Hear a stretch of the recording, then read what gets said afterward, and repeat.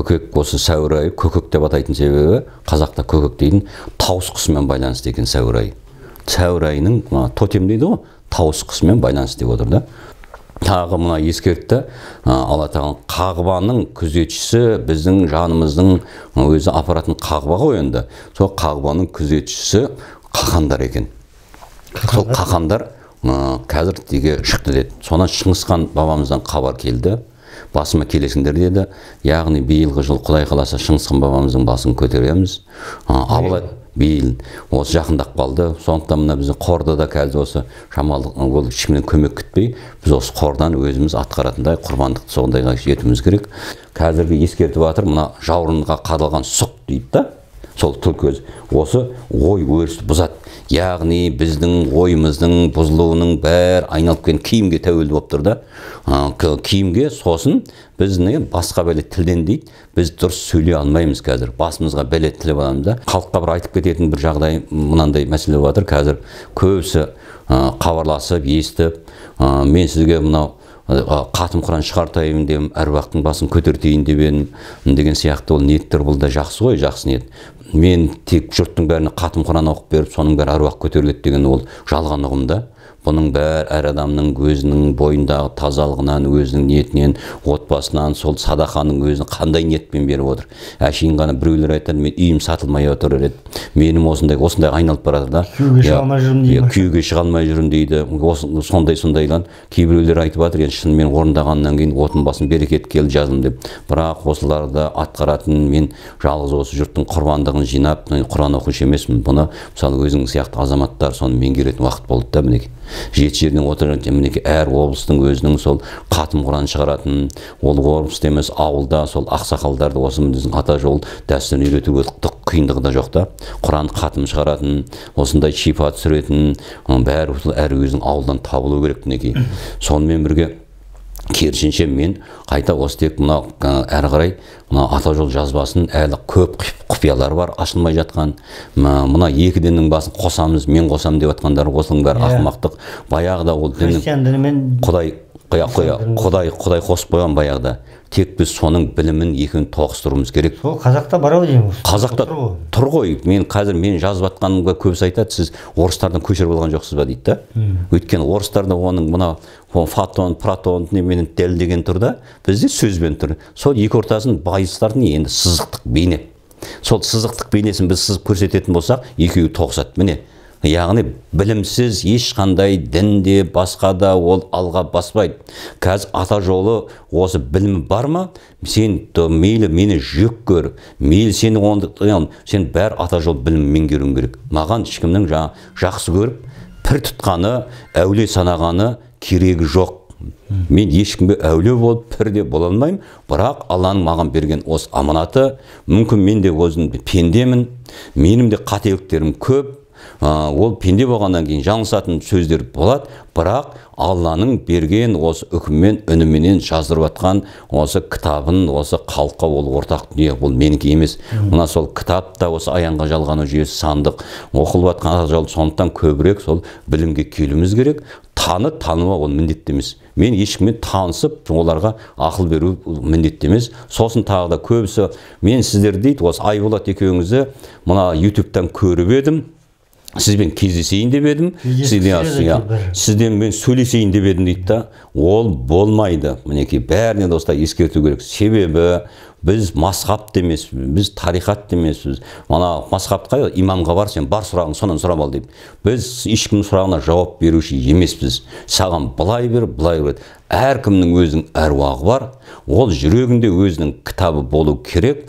Біз сол сұрақтарға қалай жауап алуды үйретушіміз. Осы қатым құран осы айтылып жатқан жазбалардың бәрі әркім өзіне керекті сұрақты өзі құдайдан сұрап алу керек та соны түсіну керек. Жүрегінде болмаған затты адам бәрі ұғына алмайды.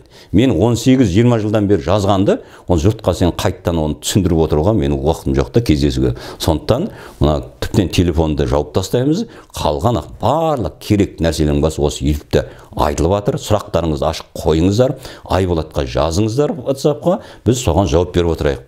А, сондықтан мына келе салып мен сізбен кездесейін деп едім ананы сұрайын деп едім деген осылардың бәрі әшейін бір м, сезімдік тұрғыда да оның жауабы бар кітабы бар білімі бар сұрағанды құдай береді.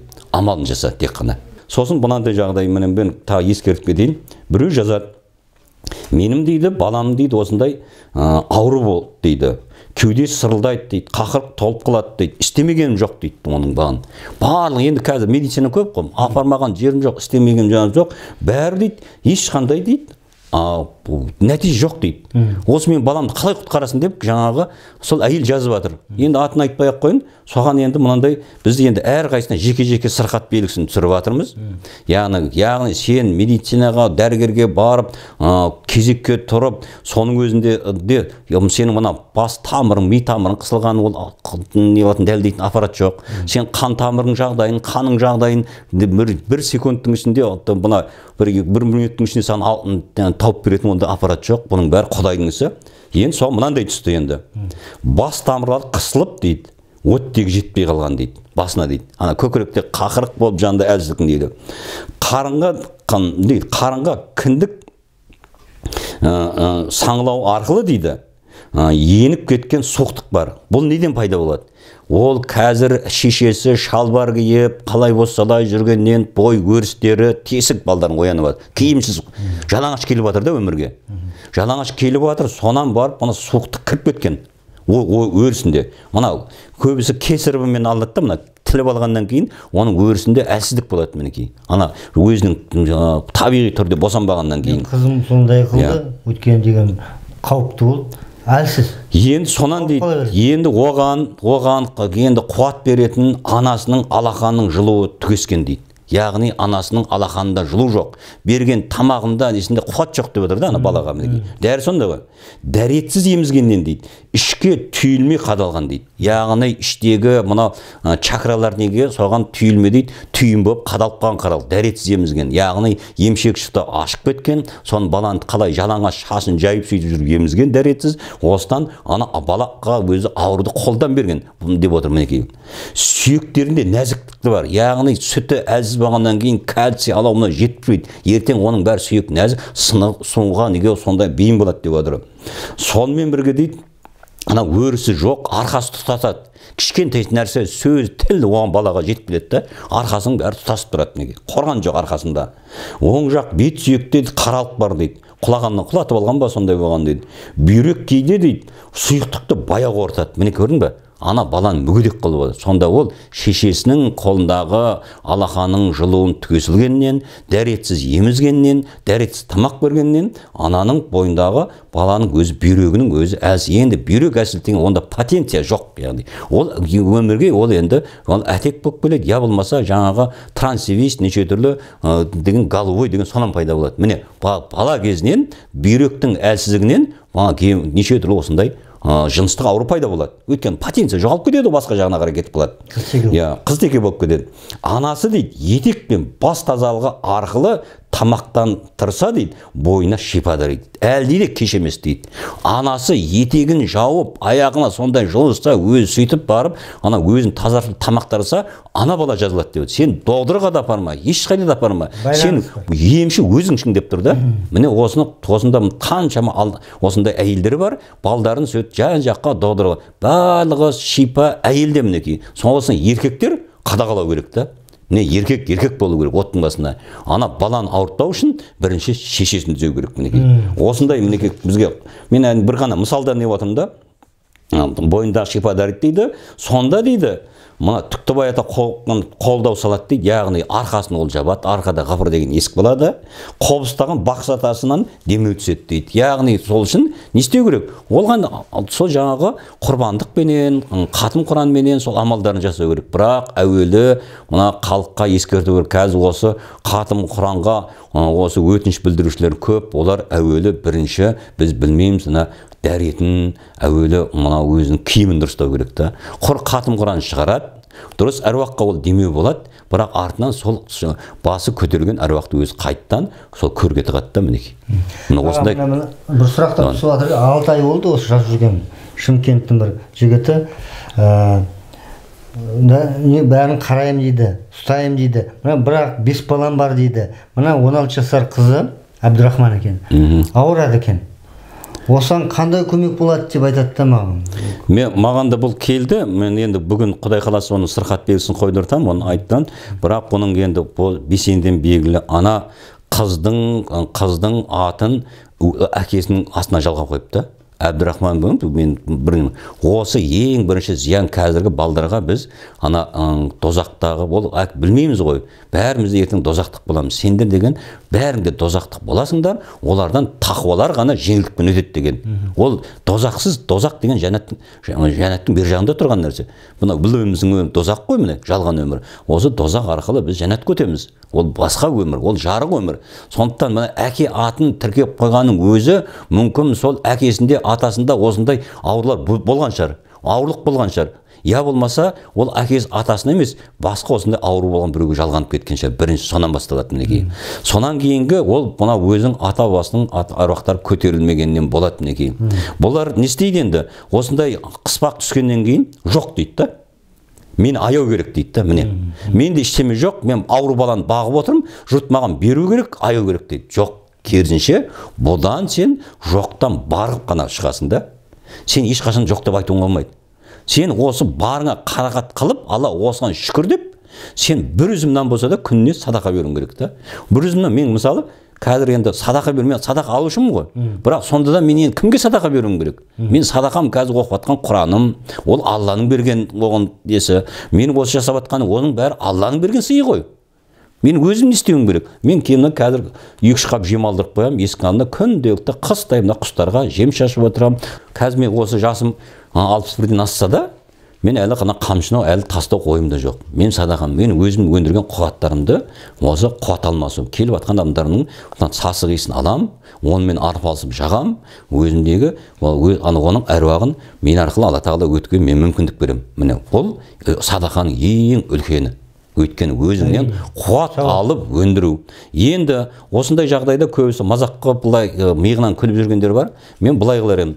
Мына ардақ назаров дегендер бар. Сабыржан деген осы мынау осы қазақта не бар да мына ережесі жекпе жектің кәдімгі несі? Батырлар ғой енді. Мен сол батырларды мен жекпе жекке шақырар едім да жеңіп қалады. Шынында. Әуелі бірінші не істеу керек? Дәл мені меңгергендей осы бақсылықты меңгеру керек. Ол үшін ол оңай емес олар тіптен мына мен қазір төрт бес жылдап аш жүріп неғылатын болсам оларға мысалы бес алты күнде су да ішпей сөйтіп ашық тұрған ендігілерін шығару керек. Оған көне ма көне алмайды. Міне осындай сол батырлықты енді нағыз батырлық мынау қамшылап рухани батырлық. Сол қазір сондай мен жекпе жекте ережесіз талай жеңдім дегендер бір ғана жындыханада жатқан бір ғана әйелден жеңіп қалады да. Мен көрдім төрт жігітті кішкентай қыздың жан жаққа лақтырғанын көрдім да. Дәу дәу еркектерді. Міне жын ғой сол. Сондықтан қазір жынның заманы ғой. Соны мақтанып мен ережесі жекпе мен пәленің басын жардым дегенше сен сен жынмен күресіп көр енді осы кезде. Сен нағыз қазақ екенін көрсетіп көр мінекей. Сен өзіңнен қуат өндіріп көр. Міне осындай айтар едім да анау мақтанып мен сенің басын жарамын деп отқандар сен әуелі сол бір әйелдің анау жынын сол қағып алып көрші кіріп алған. Міне ана қанатан шашын жайып жүрген қыздардың міне сол рухани ерлік болады да.